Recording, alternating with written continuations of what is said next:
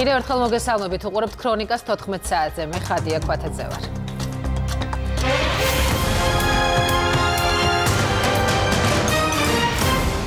დედაქალაქში საშობაო ალილო იწყება. სვლელობა პირველი რესპუბლიკის მოედნიდან დაიწყება და სამების საკათედრო ტაძარში დასრულდება.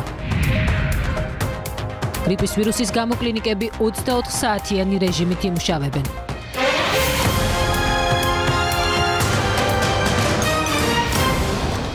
თბილისში ალილო იწყება მსვლელობის მონაწილეები პირველი რესპუბლიკის მოედნიდან დაიძრებიან და რამდენიმე ადგილას გაჩერდებიან. ლევან ფოჩხუა იმყოფება მათთან ერთად და პირდაპირ ეთერში გვერდება. ლევან გისმენთ.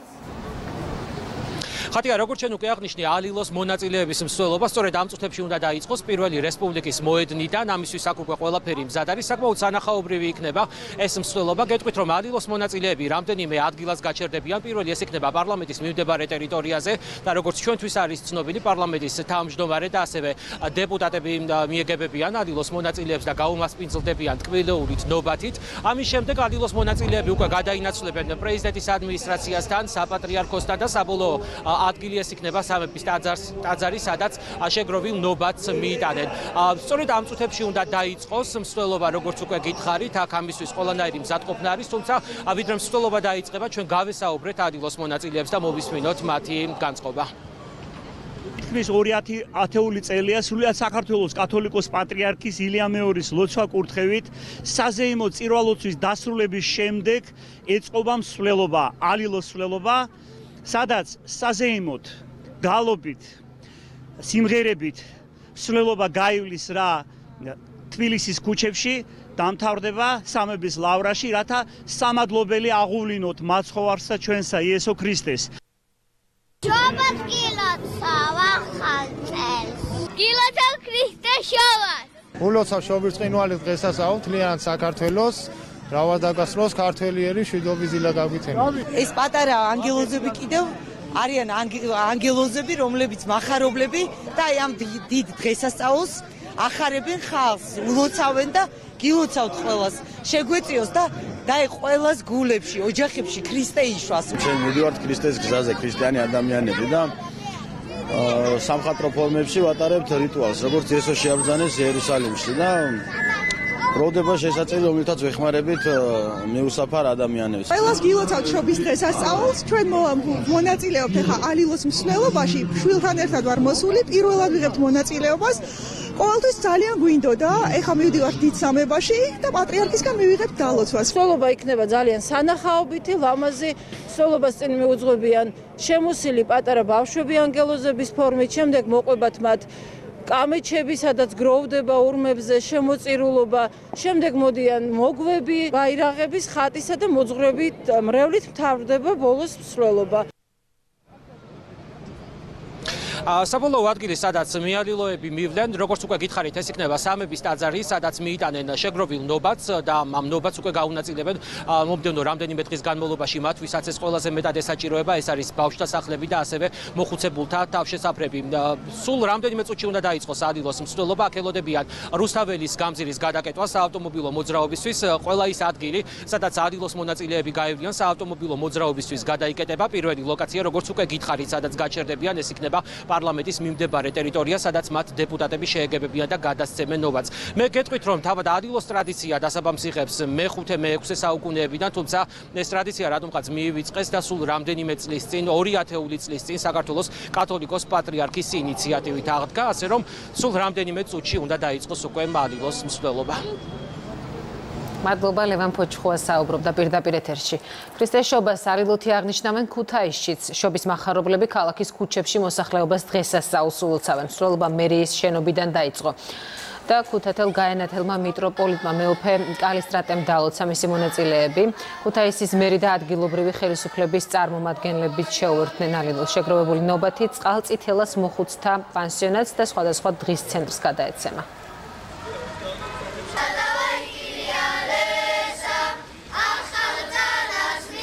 ჩვენ ქალაქში ტრადიციაა ბავშვების ალილოსველობა, რომელშიც მონაწილეობას ჩვენც ვიღებთ. დღეს ეს რა თქმა უნდა არის ბავშვებისათვის, მიუსახარი ბავშვებისათვის, მინდა მიულოცო ვისარგებლო შემთხვევით და ჩვენ თანახალახელებს სულიად საქართველოს შობის წინვალე დღესასწაული ჩვენს ქვეყანას უსურვებ გამთლიანებას და ერთიანობას. ჩვენ საქართველოს ულოცავ შობას და ეს აი მრავალს და სულ ასე ბედნიერი ყოფილიყავით.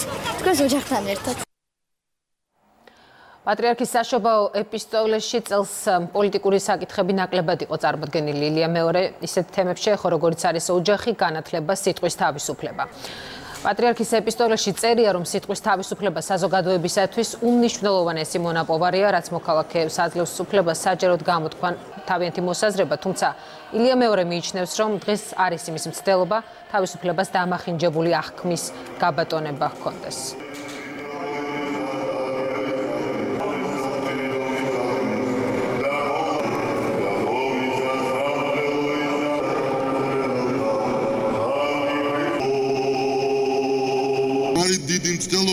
სიტყვის თავისუფლების დამახინჯებული აღქმის გაბატონებისაც.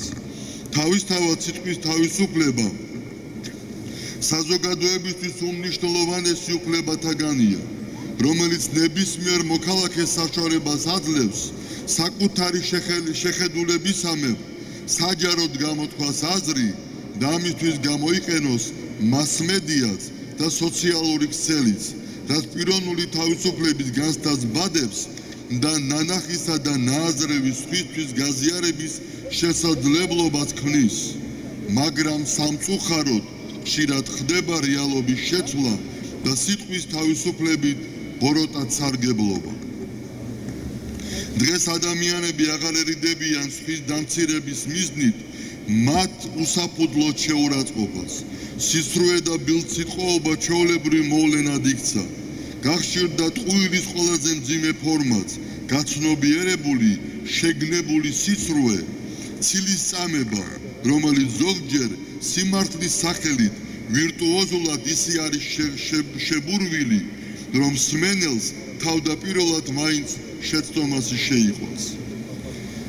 ამის მოქმედ ალბათ გონიათ რომ რაკის ხვაზე ფიზიკურადაც ძალადობენ და სხეული დაზიანებას არ აყენებენ.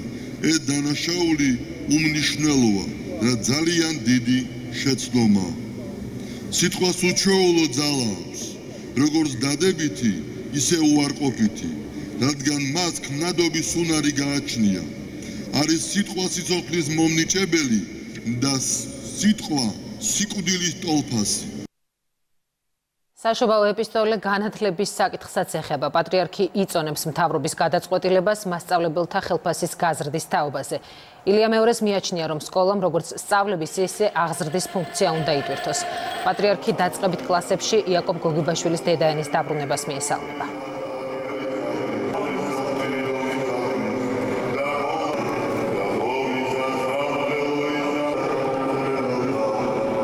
სასიხარულოა რომ ხელისუფლებამ განაცხადა, რომ მასწავლებელთა ხელფას გაზრდის და იზრუნებს მათი ავტორიტეტის ამაღლებისთვის.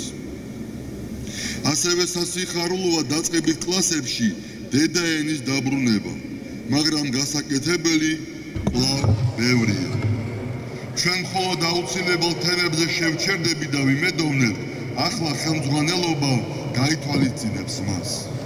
პირველ რიგში სათანადო ყურადღება უნდა მიექცეს ეროვნული სულისკვეთებით მოსწავლეთა აღზრდას. სასწავლო პროგრამებიდან სამწუხაროდ თითქმის ამოღებულია ჩვენი კლასიკოსი მწერლების ნაწარმოებები. ყურადღება არ მახულდება ჩვენი ერის გმირულ წარსულზე. არ აღინიშნება გამოჩენილ პიროვნებათა და მოვლენათა ღირსახსოვარი თარიღები. ხშირად არ ეწყობა ექსკურსიები ჩვენი ქვეყნის სხვადასხვა კუთხის გასაცნობად. უნდა გატარდეს სხვა ღონისძიებების, რომ ყმაწვილებში სამშობლოს სიყვარული გაღვივდეს და ისინი ღირსეულ მოქალაქეებად ჩამოყალიბდნენ. ლუკმაპურის შოვნისთვის სახლიდან გასულ მშობლებს ძალიან ცოტა დრო რჩება ჩვილებისთვის. ამიტომაც სახელმწიფომ და აქედან გამომდინარე სკოლამ უნდა იტვირთოს როგორც სწავლების, ისე აღზრდის ფუნქცია. საშობაო ეპისტოლე ოჯახის საკითხსაც ეხება. პატრიარქი ამბობს, რომ ბავშვებზე მძიმე დაისახება მშობლების განშორება. ილია მეორე ახლად შექმნილი ოჯახების შესახებაც წერს და აცხადებს, რომ მათი დანგრევის ძირითადი მიზეზი ის არის, რომ ახალგაზრდები ცხოვრებისათვის მზად არ არიან. რაც შეეხება ოჯახს, ანუ მცირე ეკლესიას, ზოგადად ყველამ ვიცით, რომ იგი ურთიერთპატივისცემასა და სიყვარულს უნდა ეფუძნებოდეს.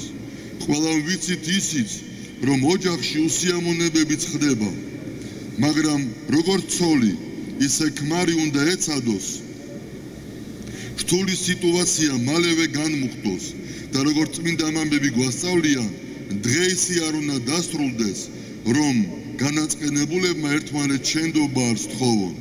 გახსოვდეთ ისიც, რომ ჭხუბსა და დაძაბულობას შვილები უნდა განარიდოთ. მათი მგზნობიარე სული მთელი სიმწვავით რეაგირებს ისეთ ქმედებებზე, განსაკუთრებით ძიმე კვალს კი შობლების განშორება ტოვებს.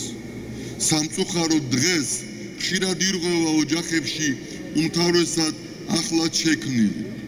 ფიქრობთ ამის მთავარი მიზეზი არის ის, რომ ახალგაზრდები ცხოვრებისათვის არ არიან მომზადებულნი და პატარა გაუგებრობაც საკმარისი ხდება განშორებისათვის. ცოლქმრისთვის დიდი მნიშვნელობა აქვს მოძღვრის ყოლას.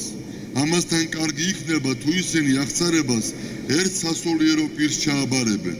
რა თქმა უნდა, შეიძლება სხვადასხვა მოძღვარიც ყავდეთ. რომ მისი საშუალებით თითოეულმა შედარებით უმტკივნეულოდ გააცნობიეროს თავისი შეცდომა და მდგომარეობა გამოასწოროს. განათლება ცხოვრების ჯანსაღი წესი ახალგაზრდები პოლიტიკოსთა შეფასებით საშობაო ეპისტოლე მთავარ გამოწვევებს ასახავს მათი თქმით ჯანსაღი ცხოვრების წესი ახალგაზრდებს ახალგაზრდების პატრიოტება და აღზრდა მშვიდობა და სიყვარული ქვეყნისათვის მნიშვნელოვანია ჩვენ დღეს საშობაო ეპისტოლეში მოვისმინეთ ძალიან მნიშვნელოვანი გზავნილები. განათლებაზე ჩვენს ახალგაზრდებზე, მოსარდებზე, ჯანსაღი ცხოვრების წესზე, სამშობლოს სიყვარულზე, იმ გამოწვევებზე, რომელიც გვაწუხებს თითოეულ ჩვენთაგანს, ყველას კიდევ ერთხელ მსურს მიულოცო შობის წინვალე დღესასწაული. მე მხოლოდ მინდა ყველას მოგილოცოთ დღევანდელი ქრისტეს შობა. მე მადლობა მინდა გადავხადო წმინდა სტამონეტარეს დღევანდელი ხადაგებისთვის, ეპისტოლესთვის, სადაც საუბარი იყო ძალიან მნიშვნელოვანი საკითხებზე, იმ საკითხებზე, რომელიც თითოეულ ჩვენგანს გვაწუხებს, საუბარი იყო სიტყვით ძალადობის პრობლემაზე, რაც არის ერთ-ერთი უნიშნულოვანესი პრობლემა ჩვენს საზოგადოებაში, ცილის წამებაზე, სიცრუეზე, ფილსიტყვაობაზე, რაც არის ძალიან სერიოზული პრობლემა და ასევე მნიშვნელოვანი იყო ის, რომ ყურადღება იყო გამახვილებული განათლების პრობლემაზე, მათ შორის პატრიოტულ აღზაზე, პატრიოტული აღზის მნიშვნელობაზე. სამების საკათედრო ტაძარში ღვთისმსახურებას სრულიად საქართველოს კათოლიკოს პატრიარქმა სინოდის წევრებთან ერთად ჩაატარა. ტაძარში ქვეყნის პრეზიდენტი, პრემიერი, პარლამენტის თავმჯდომარე, მინისტრები და დეპუტატებიც იმყოფებოდნენ. მამუკა ბახტაძეს საშობაო ლიტურგიის ბოლოს პატრიარქმა სიტყვა გადასცა და როგორც პრემიერმა აღნიშნა, შობა იმედის, სიყვარულის, სათნოების და ერთმანეთის გვერდით დგომის სიმბოლოა. დღეს ზეცა და დედამიწა ადიდებს ქრისტეს შობას. ანგელოზები გალობენ ინებოს უფალმა რომ შვიდობა და სათნოება სუფევდეს ჩვენს ქვეყანაში და ჩვენს სოფლიოში შვიდობა სუფევდეს თქვენს ოჯახებში დღეს მრავალმა ოჯახმა ფანჯარაში დაანთო სანთელი. ეს არის სიმბოლო რომ ჩვენ ვიწევთ ღვთისმშობელ დედას ჩვენ სახლში ვენიერია ის ადამიანი რომელთა რომელშიც ქრისტე იშობა გამოსვილი და გახარებული გამყოფოთ მამაზე ციერმა მე ვთხოვ ბატონ პრემიერ მინისტრს რომ მოგილოცოთ ქრისტე ქრისტეშობის დღესასწაულს. თქვენო უწმინდესობავ, ძვირფასო თანამემამულენო, მოგესალმებით ყველას, გილოცავთ შობის ბრწყინვალე დღესასწაულს. მინდა განსაკუთრებით მიულოცო ჩვენს ემიგრანტებს. დღევანდელი დღე არის სიმბოლო იმედის, სიყვარულის, სათნოების ერთმანეთში, ერთმანეთის გვერდში დგომის უკრაინის ავტოკეფალიის შესახებ საქართველოს საპატრიარქო პოზიცია ჯერ არ გამოხატავს. როგორც მეუფე ნიკოლოზმა განმარტა, საქართველოს განცხადება რიგით მეცხრემ უნდა გააკეთოს. შესაბამისად, ეკლესია არ ჩქარობს და საკითხს სინოდის შემდგომ სხდომებზე განიხილავს. თუმცა ცნობილია, რომ სინოდის წევრთა შორის ამ თემის შესახებ აზრთა სხვაობაა.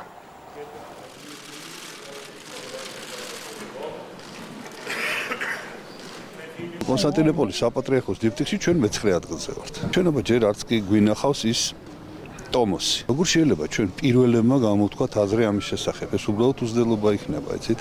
რომ ჩვენ გადავახტათ რომელიმე ეკლესიებს, ამიტომ წესი არსებობს ეკლესიაში ესეთი, რომ უფრო უმცროსობის. ეკლესიამ როგორ უნდა გამოხატოს პოზიცია თუ ერთიანად არ იმსჯელა? ანუ წმინდა სინოდმა თუ არ იმსჯელა და არ გადაწყვიტა და ჩვენ შევიკრიბეთ, ვიმსჯელეთ და როცა შევიკრიბეთ და ვიმსჯელეთ, ტომოსი ჯერ საერთოდ არ ვიცოდით.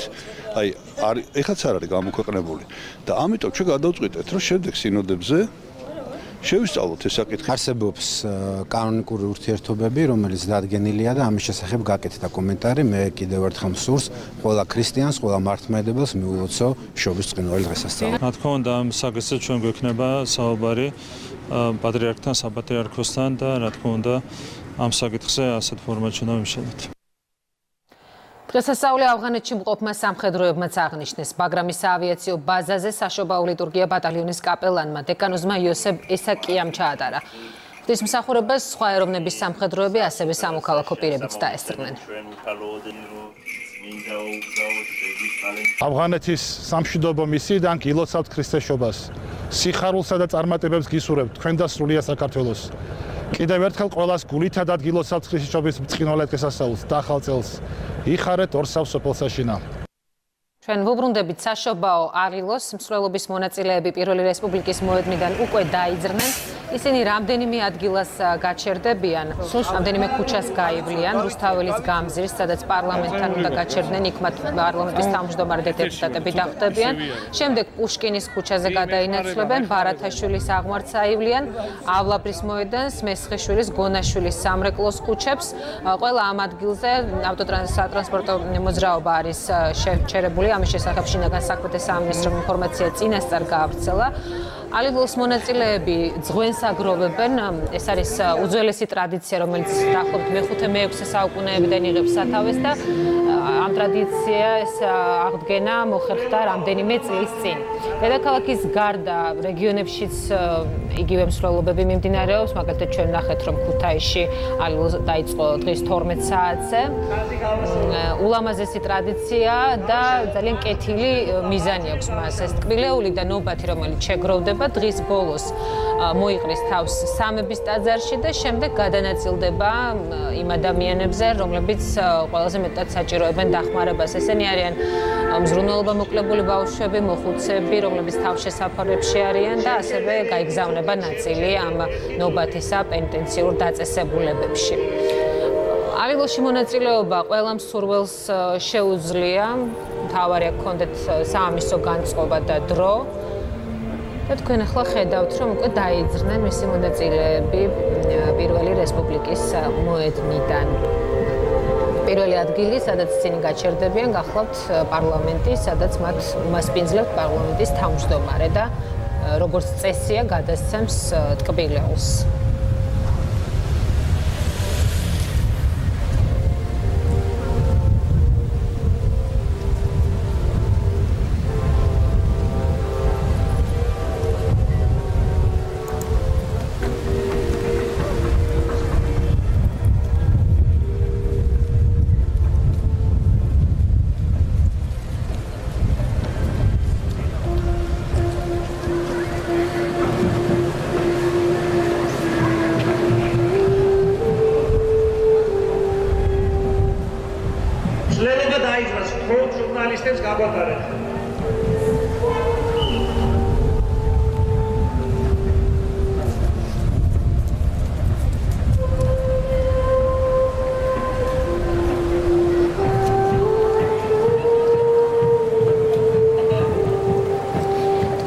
უსმენთ საშობაო სიმღერას, რომელიც რომლის გარეშე წარმოუდგენელია ეს დღესასწაული ალილოს.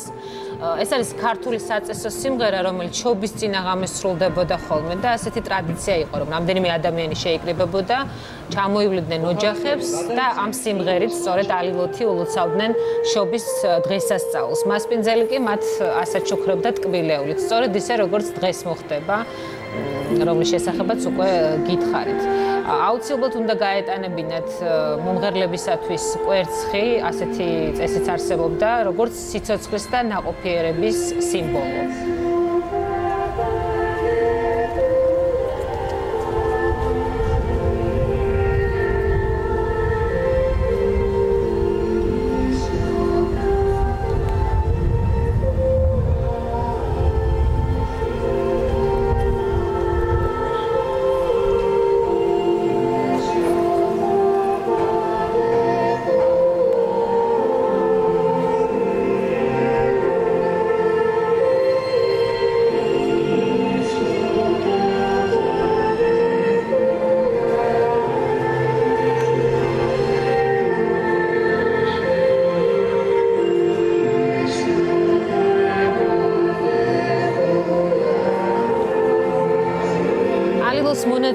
მონაწილეები სიმბოლურად არიან ქრისტეს შობის מחარობლები. ამიტომ ამ ადამიანებს განსაკუთრებული მასპინძლობა სჭირდებოდათ ყოველ დროში. მაგალითად, თუ შეჩი ასეთ ტრადიცია ჰქონდათ, რომ შობას დიასახლისი ტაბლას აწყობდა რომელსაც ნათლის ღებამდე ხელუხლებლად ინახავდა ხოლმე და მას ქრისტეს სუფრასაც უწოდებდნენ.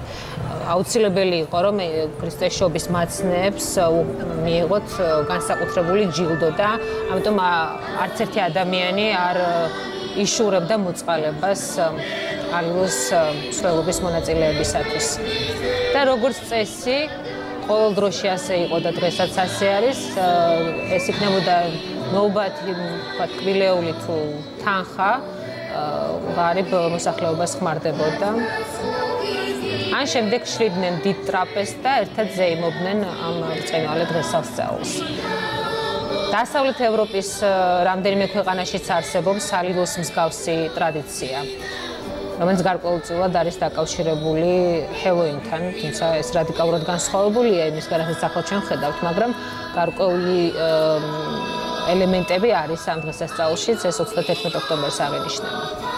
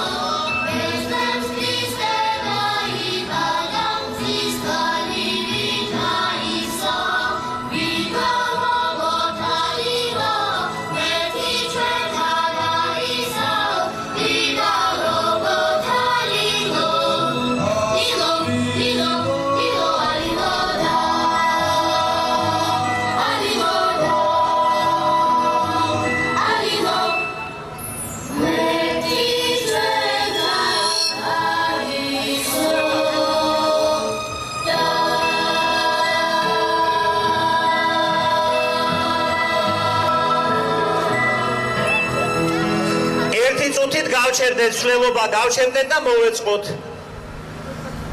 წავიდე კიდე ქოიზე და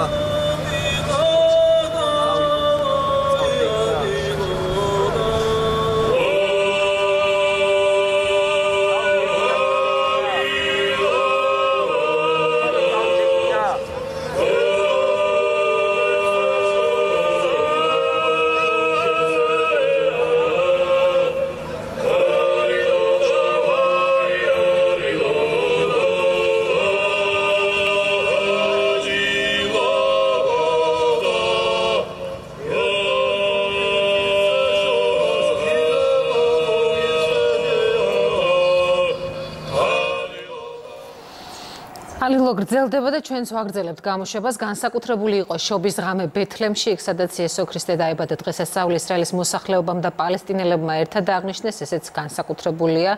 შობა ეგვიპტელმა კოპტებმაც იზეიმეს სად როგორ შეხვდნენ 7 იანვარს ნახოთ სიუჟეტი ბეთლემში, სადაც მაცხოვარი დაიბადა, შობა ათასობით მორწმუნე ქრისტიანმა აღნიშნა. შობის დადგომა წმინდა მიწაზე საეკლესიო ზარებითა და გალობით ამცნეს. სადღესასწაულო ლიტურგია მეოთხე საუკუნის ეკლესიაში შუაღამისას დაიწყო. ღვთისმსახურება იერუსალიმის პატრიარქმა თეოფილე მესამემ აღავლინა. დღესასწაული მაცხოვრის შობის ტაძარში ისრაელელებმა და პალესტინელებმა ერთად იზეიმეს. ეს ტრადიციაა, რომელსაც საფუძველი ჯერ კიდევ იასირ არაფატის დროს ჩაეყარა. ახალ ტაძარში შეეგებნენ შობის დღესასწაულს ეგვიპტეში მცხოვრები კოპტი ქრისტიანები. ახლო აღმოსავლეთში ყველაზე დიდი ეკლესია, რომელიც კაიროდან 45 კილომეტრის მოშორებით ახალ ადმინისტრაციულ დედაქალაქში მდებარეობს, შობის წინ საზეიმოდ გახსნა ეგვიპტის პრეზიდენტმა. ახალი ქრისტიანული ტაძარი მეჩეთის გვერდით დგას, რაც ეგვიპტეში კონფესიებს შორის შემწყნარებლობაზე მეტყველებს. სერბეთში საშობაო ლიტურგიის გარდა დღესასწაულის აუცილებელი ატრიბუტი კოცონია.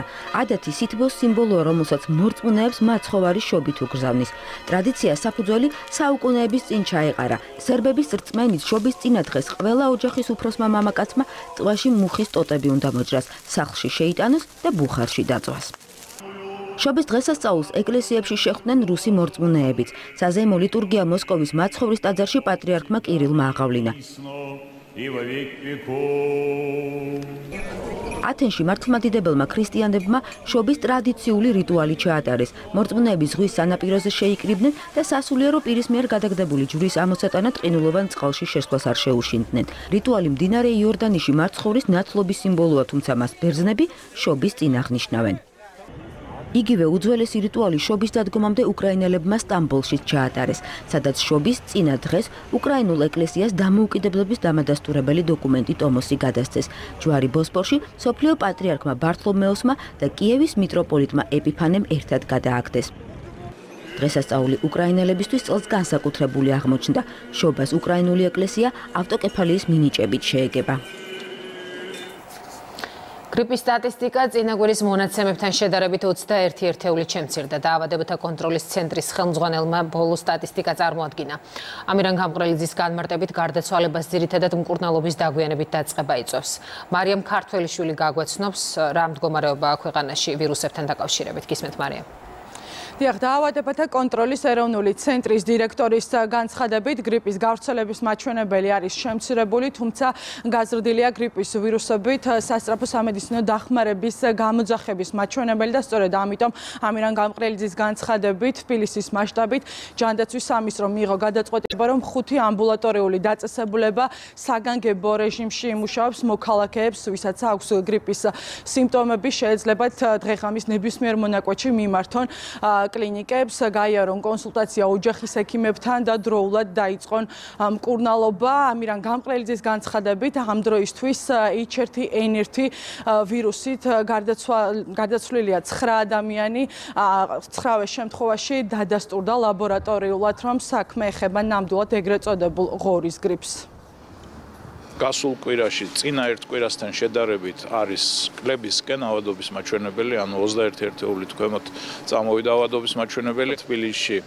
ხუთი პირველი ჯანდაცვის დაწესებულება გადავიდა გახანგრძლივებული მუშაობის რეჟიმზე. ანტივირუსული პრეპარატები მარაგი არის ყველა საზოგადოებრივი ჯანდაცვის ცენტრში, ანუ ყველა თითოეული მუნიციპალიტეტის ქვეყნის მასშტაბით საზოგადოებრივი ჯანდაცვის ცენტრში და ისინი გაიცემა და გაფართოვდა გაცემის არეალი, ანუ ადამიანთა ჯგუფები, ვიზეც უნდა გაიცეს ის უფასოდ, ესენი გახლავან ორსულები, სოციალურად დაუცველები, პენსიონერები, ბავშვები და ამავე დროს ქრონიკული დაავადებებით ავადმყოფები. პოლიკლინიკა გადავიდა საგანგებო რეჟიმზე.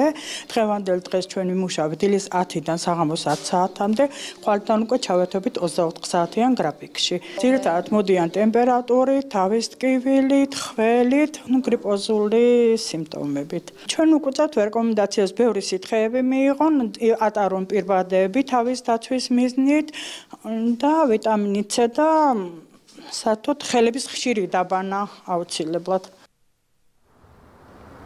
სავარაუდოდ H1N1 ტიპის ვირუსის გართულების გამო 25 წლამდე მამაკაცის ჯანმრთელობის მდგომარეობა არის კრიტიკული. მამაკაცი ამ დროისთვის იმყოფება თბილისის რეფერალურ საავადმყოფოს რეანიმაციულ განყოფილებაში. მართვით სუნთქვაზე მედიკოსები აცხადებენ, რომ 29 დეკემბერს რუსთავიდან თბილისში პაციენტი მძიმე მდგომარეობაში შეიყვანეს, თუმცა ოჯახის წევრები მედიკოსებს გულგრილობაში და არასათანადო მკურნალობის ჩატარებაში ადანაშაულებენ. როიგზნო თავი ცუდად მეორე დღეს გამოიძახა სასტრაფოდ და გადაიყვანეს სასტრაფოთი სამანტყოფოში.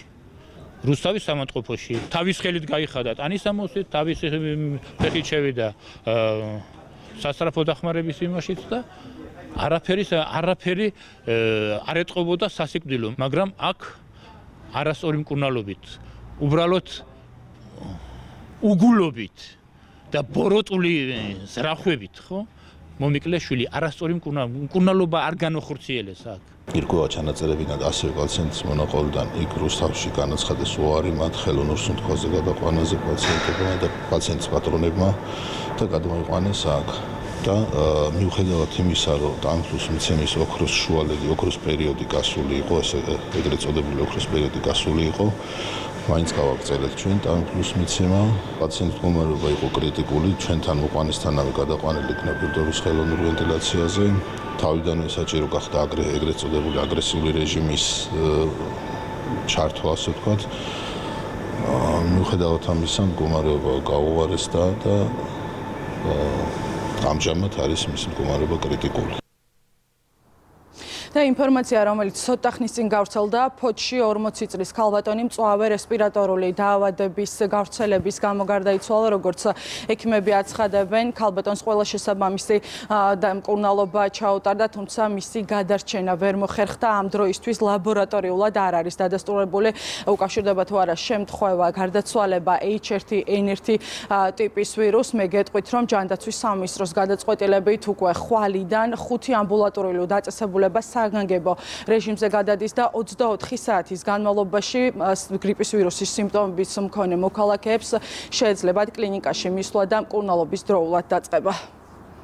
გმადლობ მარიამ ქართველიშვილი საუბრობდა პირდაპირ ეთერში მცხეთის სამედიცინო ცენტრში კი შიდა კარანტინია გამოცხადებული კლინიკაში 50-მდე პაციენტი მკურნალობს მათგან 3 მართვით სუნთქვაზეა.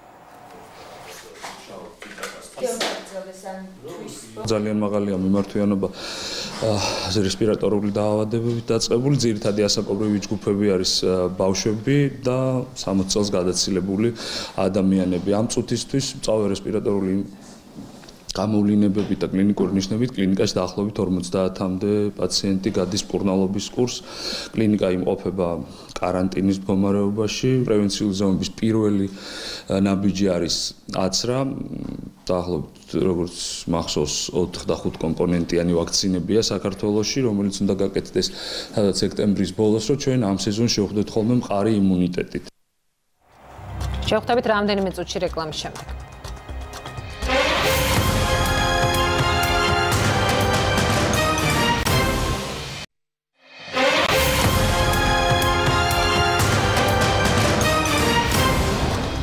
ქრონიკას 14 საათზე ბრუნდებით პირდაპირ ეთერში. ეკაბესელია მივლინებიდან დაბრუნდა და გუშინ ტაძარში გამოჩნდა. მან თქვა, რომ ბრძოლას გააგრძელებს სამართლიანობისათვის და ბევრი თანამოაზრე ხავს. პარლამენტის თავმჯდომარემ კი კიდევ ერთხელ აღნიშნა, რომ გუნდი პრობლემების მოგვარებაზე მუშაობს. დამატებით განმარტებებს იურიდიულ საკითხთა კომიტეტის უკვე ყოფილი თავმჯდომარისაგან სავარაუდოდ დღის მეორე ნახევარში მოვისმენთ.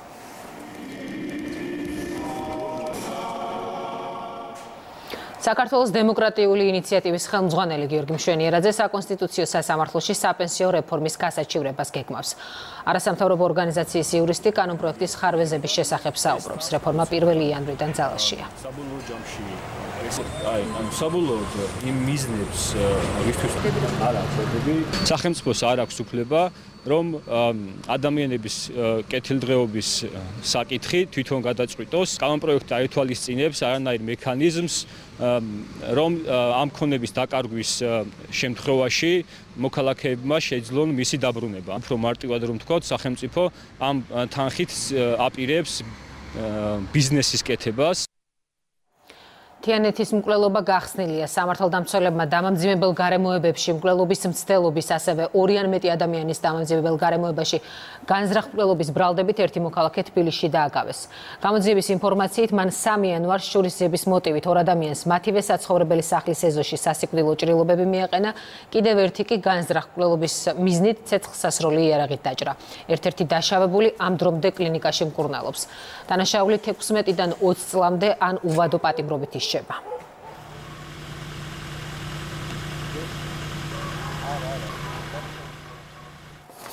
ალ-ქაიდას ერთ-ერთი მეთაური ჯამალ ალ-ბადავი ამერიკელთა საჰაერო იერიშს ემსხვერპლა. ეს ინფორმაცია თეთრი სახლის ლიდერმაც დაადასტურა. ამერიკის თავდაცვის სამინისტროს განცხადებით იერიში დრონით გასულ სამშაბათს იემენის დედაქალაქზე მიიტანეს. ვაშინგტონს ალ-ბადავის შესახებ ინფორმაციის სანაცვლოდ ჯილდოდ 5 მილიონი დოლარი ჰქონდა დაწესებული. Jamal al-Badawi, a militant, was killed.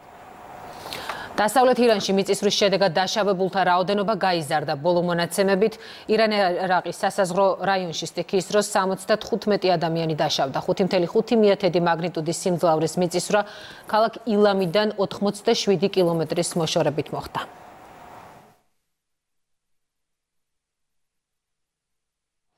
საბერძნეთში დიდ თოვლობას სამი ადამიანი ემსხვერპლა. ქვეყნის მეტეოროლოგიური სამსახური ცივი ჰაერის მასების ახალი ტალღის გავრცელებას დღეს საღამოდან ვარაუდობს. უხთოვსელიან ათენში, ასევე სამხრეთ საბერძნეთში ქვეყნის მასშტაბით ყველაზე დაბალი ტემპერატურა -19 გრადუსი ქალაქ ფლორინაშია.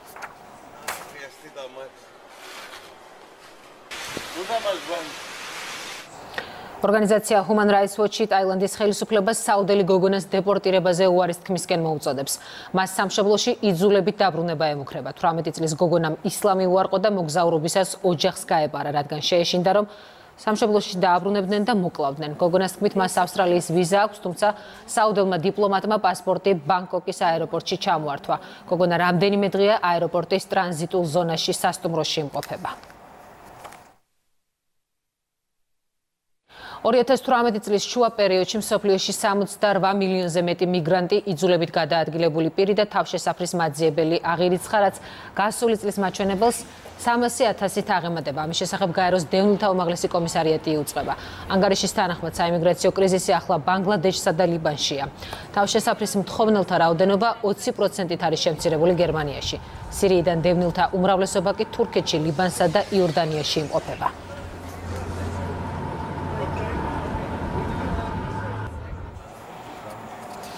ჩვენ კლავ ვუბრუნდებით საშობაო მსვლელობას ალილოს, რომლის მონაწილეებიც უკვე საკანონმდებლო ორგანოსთან იმყოფებიან და მათ პარლამენტის თავმჯდომარე დახვდებათ.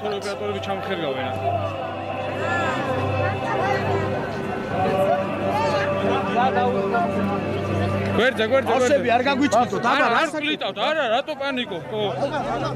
ერთი მე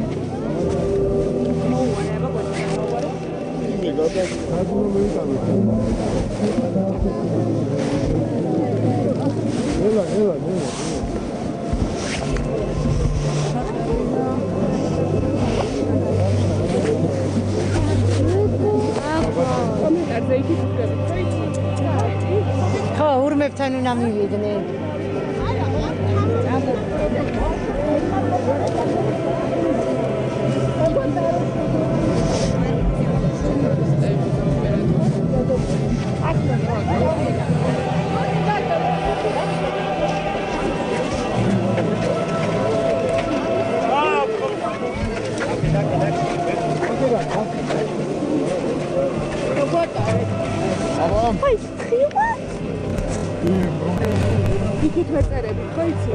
სა. დეკა.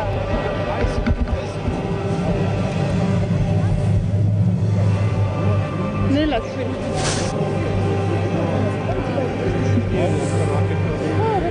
წავიდეთ. ჟურნალისტები გადავედით სადაც ვეწერებით იქ ესა წავედით სადაც ვეწერებით ჟურნალისტებო ედია მეგობრებო. ლევან ლექსო. გაბრიელ. მე ხარდა ოპერატორი საათით თქვენ. ჩემ ოპერატორს ველოდები მე ვეტყვი მე ვეტყვი. ხო ის ის ის შტატი დინდა ხო და აგერვართ ყველა კი კი იარეთ, იარეთ, ბავშვებო, იარეთ. ბავშვებო, იარეთ, იარეთ. ბავშვებო, იარეთ, კადრი გეკრიბათ ოფში რა. შედო. ნინო, მოდი რა ერთ. გაიშალე და კადრი გეკრიბათ ყველა.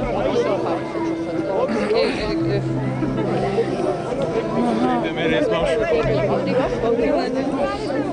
აკი, აკი. ვაიმე, ჩვენ ზურგზე კი არ გვაბია ისინ.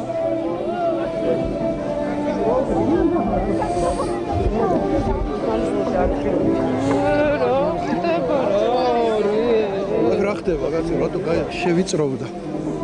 ბავშვებია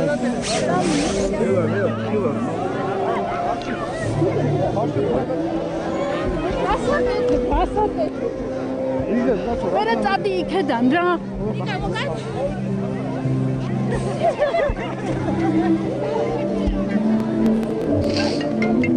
არ მიცანი დაგირეკა დაი სანჩალი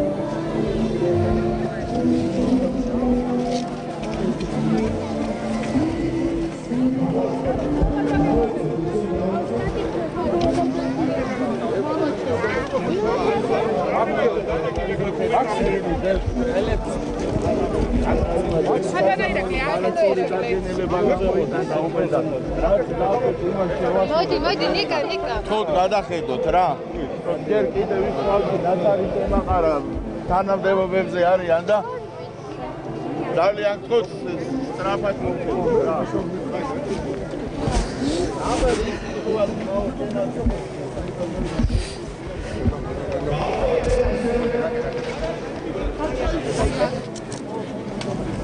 მოდება გამოვადა.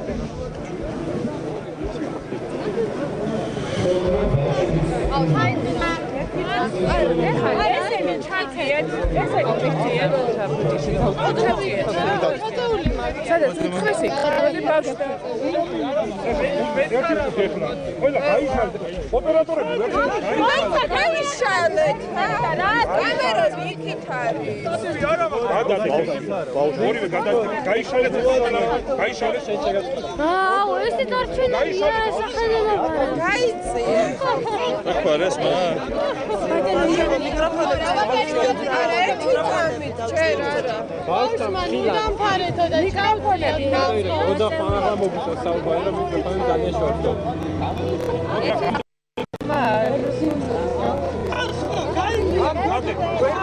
ამ თუ არ გააჭე გალერ კადრი გაკ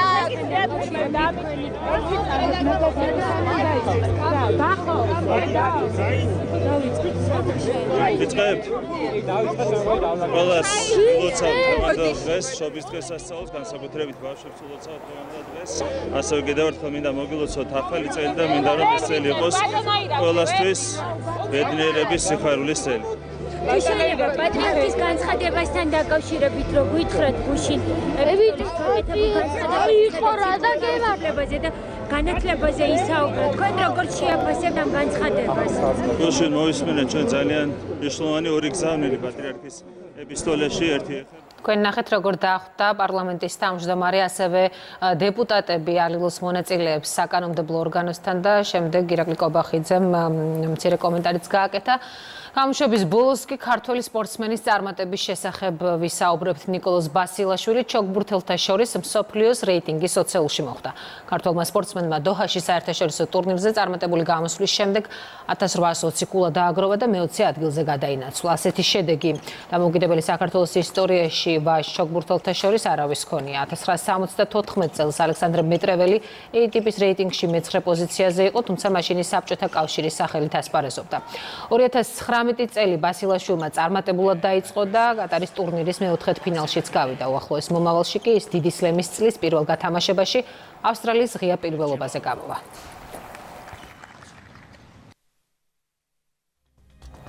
ეს ყველა სიახლეს გაეცნობით ვებგვერდზე იმედი ნიუსში შევხვდებით 17 საათზე დროებით.